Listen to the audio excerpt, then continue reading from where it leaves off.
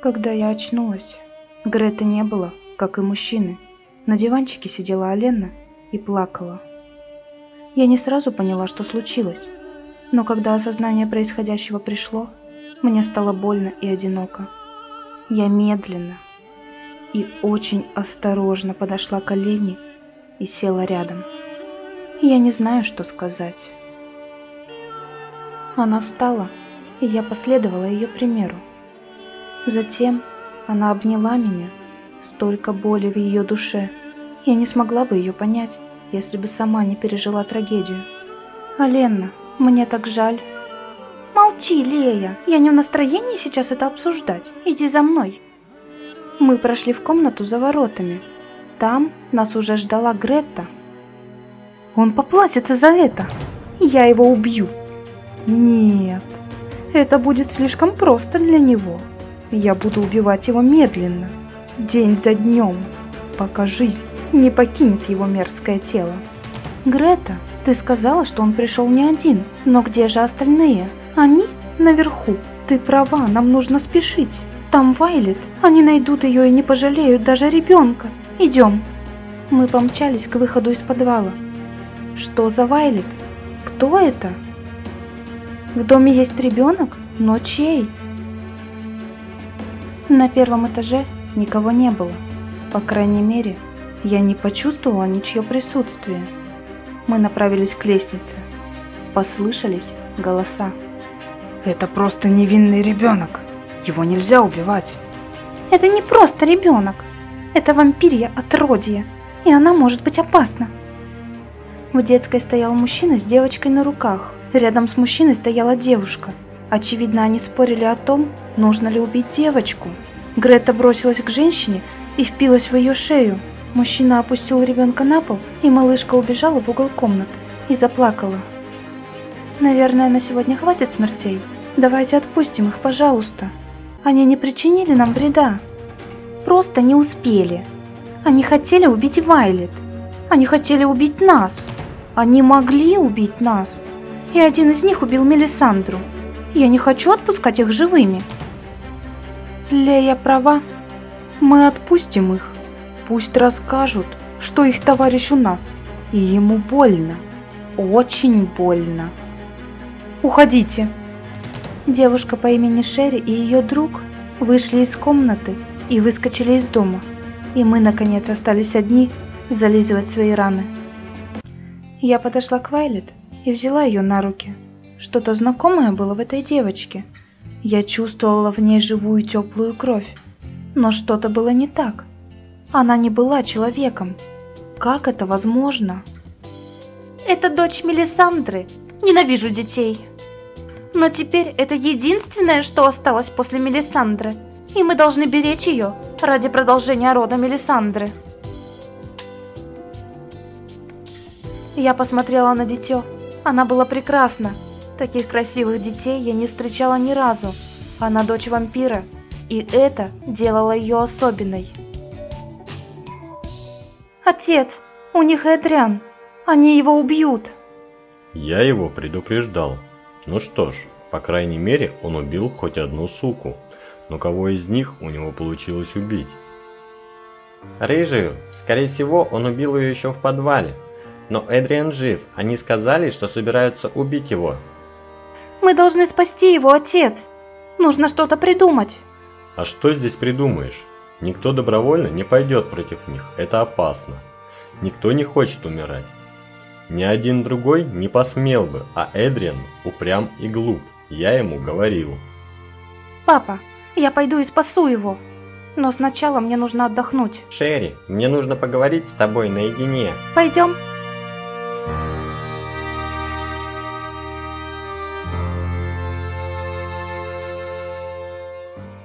Шерри, я люблю тебя. Нет смысла скрывать это больше. Возможно, у меня не будет больше шанса сказать тебе это. Джек, а ну выброси эту чушь из головы. Ты мой друг, и нам незачем портить это глупой любовью. Ты такая красивая, я не могу оторвать от тебя взгляд. Мои мысли только о тебе. Это все так глупо. Нет на это времени. Эдриан в опасности. Молчи.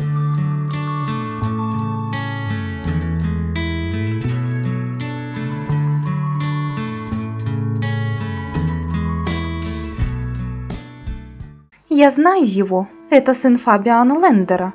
Когда-то мы убили его жену, и с тех пор он мстит нам. Он создал целый отряд по борьбе с нами. Этот мальчик вместе со своей сестрой убили уже немало вампиров. Они заслуживают смерти. Мне так жаль Мелисандру. Она была так молода. Эх, ей бы еще жить и жить. Много столетий. Что мы будем с ним делать? Ну, разумеется, мы его съедим. Пусть умирает медленно, от потери крови. А можно с ним поговорить? Зачем? И так понятно, что не чай зашел попить. Он должен умереть. Я просто хочу с ним поговорить. Это не займет много времени, и убежать он не сможет. Он безоружен и не опасен. Хорошо, поговори, а мы с Оленной пойдем к Вайлет. Она чувствует, что что-то не так, но пока не понимает, в чем дело. Сестры направились к выходу из подвала, а я расколдовала мужчину и медленно подошла к нему. Впрочем, он ничего не сможет сделать без оружия, а я смогу его убить. Отойди от меня, мерзкая тварь. Я не причиню тебе вреда. Я не верю тебе, вы все лживые исчадия ада. Зачем ты так? Вот я всегда мечтала стать вампиром. Это ведь так здорово, жить вечно, не чувствовать боли, быть всегда молодой и красивой. Это мерзко. Вы убийцы, убиваете людей, пьете кровь, у вас нет чувств и эмоций, и даже души. Я стала вампиром пару дней назад и еще никого не убивала. Впрочем, и не хочу пока. А вот ты чем лучше? Ты тоже убийца. Ты убил Мелисандру. Да, и собирался убить всех сестер Штраут. Где моя сестра? Ты про ту девушку, что была в доме? Она жива и, вероятно, уже у себя дома. Вы ее не убили? Зачем? Она никого не убивала, в отличие от тебя. Ты бы тоже уже был дома, если бы не убил Мелисандру. Что со мной будет теперь? Грета собирается тобой питаться до тех пор, пока в тебе не закончится кровь. Когда я умру? Не беспокойся об этом пока. Не скоро. Почему ты ненавидишь нас? За что ты убил Мелисандру? Разве это не очевидно? Эти мерзкие кровососущие твари убили мою мать, когда я был еще ребенком. Только за это они уже достойны смерти. Мне жаль, что ты умрешь. Ты симпатичный. Немного поговорив с парнем, я его загипнотизировала, а затем отправилась в дом. В доме было темно, ни одна свеча не горела. Я сразу пошла вверх по лестнице, в комнату Вайлет. Грета укладывала девочку в постель и читала ей книжку. Мы с Оленной вышли из комнаты. «Ну и о чем вы говорили?» Мне было интересно, почему он так поступил. «И что он сказал?» «Ничего из того, о чем я еще не узнала от вас. Эти люди сумасшедшие, и мамаша его умерла не просто так. У нее было оружие, и когда Грета начала пить ее кровь, она попыталась убить ее, зато и поплатилась. Раньше на нас никто не нападал, и мы никого не убивали. Но после этой чокнутой все изменилось. Ее муж как с ума сошел. Что будет, если мы убьем этого парня? Не знаю. Но, возможно, Фабиан взбесится и попытается нас убить. Нужно готовиться. Я даже не знаю, сколько человек придет сюда. Мы давно сбились со счета, сколько уже стало охотников. Я думала, что они единственные. А, нет, конечно. Конец третьей серии. Ждешь новую серию? Подпишись на канал и поставь лайк. Напиши в комментариях, как ты считаешь, что дальше произойдет с Леей и Эдрианом, и что случится с Шерри и Джеком.